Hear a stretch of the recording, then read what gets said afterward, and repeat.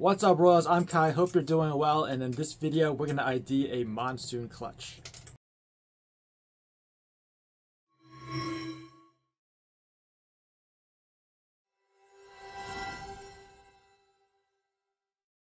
I bet you guys didn't know I was working Monsoon into some of my projects, but before we get to that, I have an announcement to make. You guys all know that I've been with Redline Shipping. I've been a customer of theirs long before the sponsorship. Their service is impeccable. You got to give them a try. Their promo code is down in the description below. The Redline family has been good to me. They've taken care of all my shipping needs and they'll take care of your shipping needs as well. So go give them a try. Okay, now for the announcement. We have another sponsor to this channel and you guys all know him. Charlie over at Grey Rider Reptiles. ShedTesting.com is now an official sponsor on this channel. I've talked about them before. They've been a sponsor on a couple videos, so this just feels right. I've known Charlie for a while now. I consider him a friend. I don't know why we didn't do this sooner, but better late than never. Go check out ShedTesting.com. Three new tests were added to the website, VPI Axanthic, Desert Ghost, and Puzzle, and soon he'll have the Monsoon test, which is what I've been waiting for. Check out their website, ShedTesting.com, promo code down in the description. Speaking of monsoon, let's ID this clutch. This is my first clutch of the 2024 season. And I wanted to make this video sooner, but this guy right here was the reason I didn't. He just didn't want to shed. Now I have to admit, the intro was a little bit misleading. You're not going to see a visual monsoon in this video, but what I thought we could do is look through all the animals from this clutch and look for those monsoon het markers. This one you can tell doesn't look like a typical normal and in fact I've already asked Austin to take a look and he glanced at it for like one second and says yeah that's het monsoon. So let's take a look at what makes this a het monsoon or has the markers of a het monsoon. If you look at the head, it's got a pattern. Usually the Normals do not have a pattern. They might have a little bit of blushing, but for the most part, it's one consistent color. Maybe there's a little dark spot in the center for a normal, but they usually don't have pattern or what we call head stamp. And if I can find a picture, I'll throw one on the screen of what a normal looks like so you can do a comparison. Now the other marker is look at the wacky pattern it has almost like a GHI pattern where they're thinner and they try to go over the dorsal and connect to the other side. You can see they don't have the regular arches of a normal, but instead they have these that try to go over and some of them do end up going over the dorsal and connecting.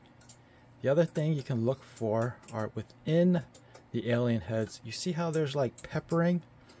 This has more peppering than the typical normal.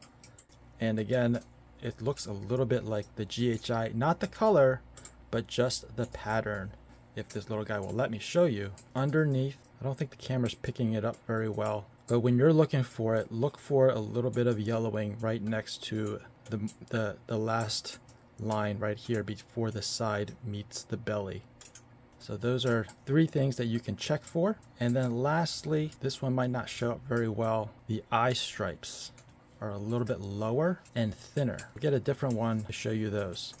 Now this one is not out of that clutch. This is actually the sire to that clutch. And he is a Mojave triple het lavender pied monsoon and you can see how the eye straps are very thin. In fact, they kind of pinch and break off.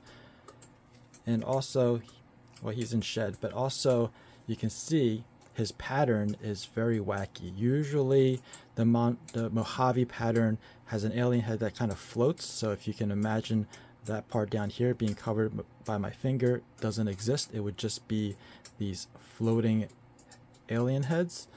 But here you can see how they're wacky. They kind of stretch all the way down.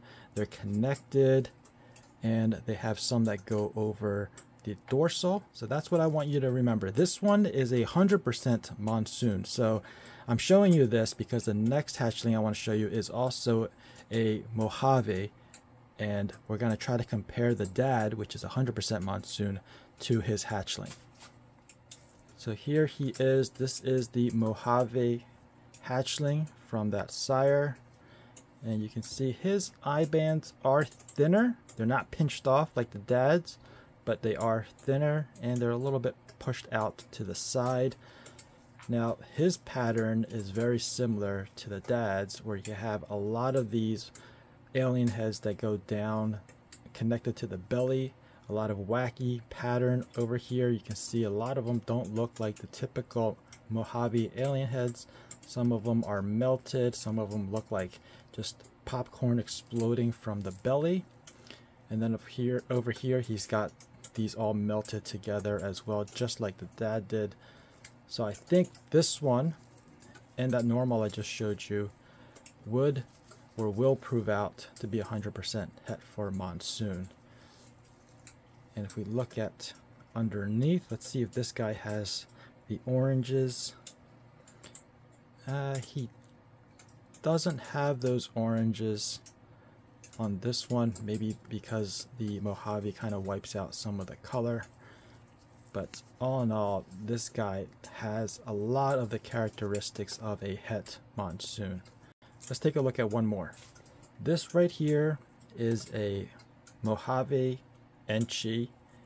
And this looks somewhat typical of a Mojave Enchi although it does look a little bit better than most Mojave Enchis. I think because there are other hets involved. Could be the het pied that is throwing some of this blushing up and in fact almost making this complete ringer all the way around. You can see that there's some white coming up. So it's got a half of a ringer and that could be the pied doing that.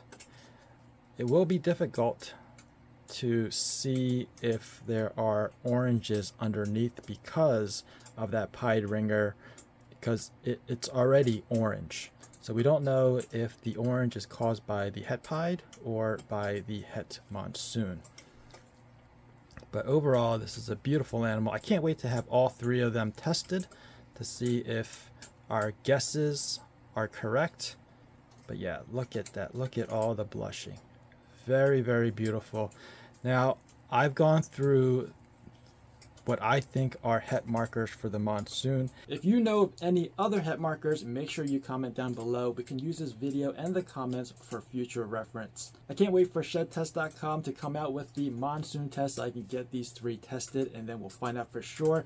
Make sure you stick around, make sure you're subscribed and hit that notification bell because I will be making a video of the shed test results that about wraps it up for this video. I hope you guys enjoyed it. If you did, please give me a thumbs up. If you're new to this channel and you want to be informed of future uploads, make sure you're subscribed and ring that notification bell. As always, thanks for watching. Please share and remember, Royals for life. Peace out.